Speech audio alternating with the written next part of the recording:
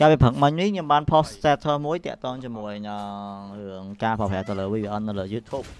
ដែលមានបងប្អូនយើងគាត់តាក់ទងមកខ្ញុំតែខ្ញុំ post status ឆ្លាតមេបង channel របស់ខ្ញុំវីដេអូរបស់ខ្ញុំបងអង្គុយចុច VPN ហើយបងយក60%ម្ចាស់ channel យក40%អញ្ចឹងអ្នកនរប្រហែលជាបានឃើញ status ហ្នឹងហើយ comment គ្នាយើងមួយចំនួនដែលគាត់អឺឆ្ងល់ហើយគាត់អត់យល់ថាហ្នឹងវាជាអីគេ អញ្ចឹងវីដេអូមួយនេះគឺខ្ញុំនឹងប្រាប់អ្នកនរខ្ញុំឆ្លៀតប្រាប់អ្នកនរពេលដែលខ្ញុំលេងនាឡិកាទៅរឿងការប្រើប្រាស់ជាមួយនឹង VPN និយាយទៅគឺពួកគាត់តាក់ទងមកយើងរបៀបដូចអឺពួកគាត់គិតថាឥឡូវយើងមាន channel ហើយអឺយើងមាន channel YouTube ហើយ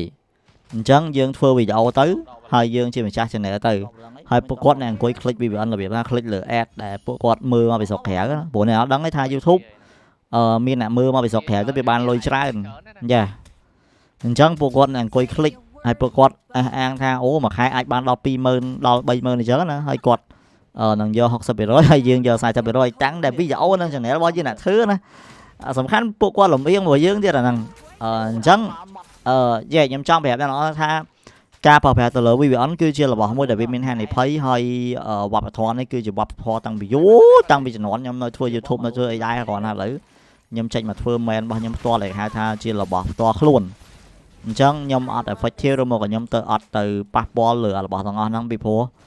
របស់ទាំងអស់នេះវាមិនវាមិនអាចឲ្យយើងបានគង់វងយូរអង្វែងទេពីព្រោះមុននឹងក្រោយគឺ YouTube គេនឹងចាប់ហើយគេអាចនឹងធ្វើការ ban channel យើងចោលឬមួយក៏លុប channel យើងចោលដល់យើងអត់ដឹងខ្លួនសោះហ្មងយ៉ាតាខុសធ្ងន់គឺតាគេប្រាប់ក៏គេខ្ជិលនិយាយមកយើងគេគេលុបចោលឬមកគេ detect ban របស់យើងចោលហ្មងព្រោះអឺ បញ្ហាហ្នឹងវាធ្ងន់ធ្ងរមែនតើខ្ញុំចង់ប្រាប់អ្នកនរថាបើសិនជាអ្នកទាំងអស់គ្នាចង់អឺ stay ជាមួយនឹង YouTube បានយូរអង្វែងអ្វីដែលអ្នកខំ build អ្វីអ្នកខំសាងអឺបានបណ្ណាយកប៉ុណ្ណឹងទៅតិចក៏យកច្រើនក៏យកតាមហ្នឹងទៅប៉ុន្តែកុំព្យាយាមធ្វើខុសជាមួយនឹងគោលការណ៍របស់គេអ្នកត្រូវដឹងថាមកដល់បច្ចុប្បន្នហ្នឹងឆ្នាំវា2022ឯងអញ្ចឹងបច្ចេកវិទ្យាគឺគេលឿនណាស់អារឿង detect រឿងអីហ្នឹង បបសោតគេគឺមានច្រើនក្រុមហ៊ុនគេមាន experience ច្រើនយើងឆ្ងាយយើងគំគិតថាយើងអាចទៅឈិតគេបានដោយងាយស្រួលអ្នកនរនេះហើយរឿង VPN ហ្នឹងវាមិនតែតែមានឥឡូវឥឡូវទេយូអ្នកនរនេះហើយឥឡូវក៏វាឡើងសូវបានផលដូចមុនដែរវា not easy គ្រាន់តែគេមាននៅតែមានវិធីដែលគេធ្វើអាចនេះបានដែរគ្រាន់តែមុននឹងក្រោយគេគង់ចាប់បានដូចគ្នាណាតែគេ detect គេចាប់បានដូចគ្នាអញ្ចឹងអឺ យើងធ្វើអីមួយជាពិសេសខ្ញុំផ្ញើសារទៅ creator របស់យើងដែលគាត់កំពុងតែចាប់ដើម build យើងកុំព្យាយាមយើងបបឡើងយើងគិតថាអូខ្ញុំចង់រលុយជាមួយនឹង YouTube ប៉ុន្តែយើងអត់ប្រឹងធ្វើសោះយើងគិតតែ focus ទៅរឿងមួយ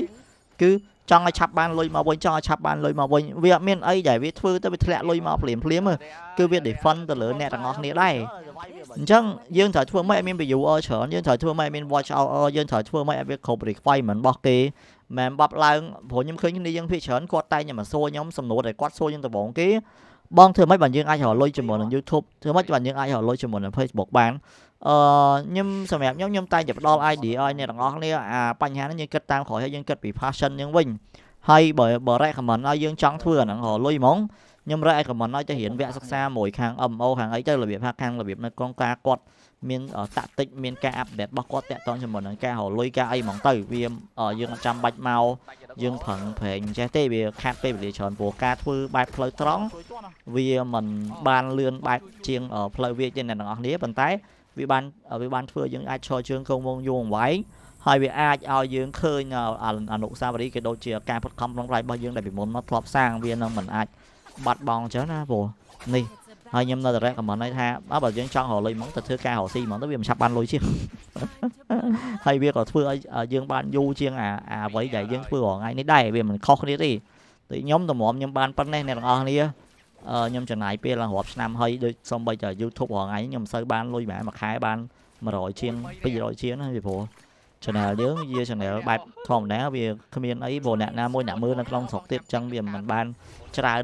ណាស់ណាទេគ្រាន់វាបានមករស់មករស់ ហើយថ្ងៃហ្នឹងគឺចំណូលខ្ញុំខ្ញុំបានដោយសារខ្ញុំ partner បានដោយសារខ្ញុំ sponsor បានអីបន្ថែមពីក្រៅដោយសារការខិតខំប្រឹងប្រែងរបស់យើងនឹងបានពីចំណូលពីការងារក៏ដូចជាការរកស៊ីក្រៅខ្លះបន្ថែមទេហើយដែលខ្ញុំកំពុងតែធ្វើគ្រាន់តែខ្ញុំស្រឡាញ់ខ្ញុំចូលចិត្តខ្ញុំចង់ធ្វើតែប៉ុណ្្នឹងឯងអញ្ចឹងខ្ញុំនៅតែជំរុញទឹកចិត្តឲ្យគ្នាយើងខ្ញុំនៅតែនិយាយដដែលៗថាអឺកុំហក់លោតទៅរបស់ទាំងអស់ហ្នឹងបើសិនជាយើងអត់ច្បាស់មួយវាហើយបើយើងចង់ធ្វើយើងត្រូវច្បាស់ឲ្យវាចាំយើងធ្វើបើយើងអត់ច្បាស់យើងចំណាយពេលចោលហើយយើងអត់មានការខិតខំប្រឹងប្រែងមួយទៀត យើងអត់មាន idea នៅក្នុងការធ្វើយើងទៅមុខអាហ្នឹងក៏វាមិនងាយនឹងទៅរួចដែរយ៉ាកុំចេះអាមួយឆាវមួយឆាវចង់តាមគេអាគេប្រវល់ទៅនេះយើងទៅនោះ